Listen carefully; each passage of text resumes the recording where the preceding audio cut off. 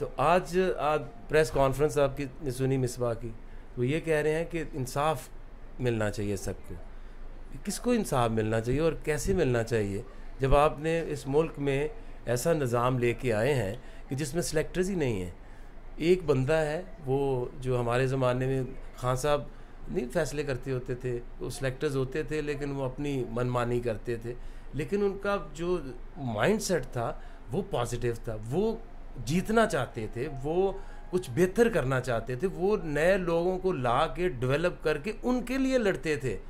वो उनके लिए नहीं लड़ते थे कि जो दस साल से फेल हो चुके हैं, नाकाम हो चुके हैं, उनको वापस लाने में लड़ाई है। तो ये तो आप कभी भी आगे नहीं जाएँगे। आज हम ये बात कर रहे हैं कि जो मिकी आर्थर ने और इंजमाम हक ने क्या किया, उनसे जाके पूछें कि उन्होंने बेंच स्ट्रेंथ क्यों नहीं दी। 192 अभी प्लेयर जो सिलेक्ट किए हैं आपने, पूरे मुल्क में क्रिकेट हो रही है, वो क्रिकेटर्स ही हैं ना।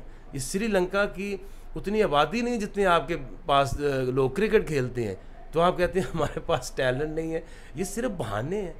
कौन जाएगा, कौन देखेगा जाके कि इस वक्त कौन तेज़ बॉलर है, कौन स्विंग बॉलर है, कौन से स्पिनर्स हैं? क्या आप पाकिस्तान में स्पिनर्स नहीं हैं? मैं आपको 20 स्पिनर्स जो है ना, अगर कल कहें तो कल ला के मिसबा हक के सामने पेश कर सकता हूँ कि देखें ये स्पिन बॉलिंग कर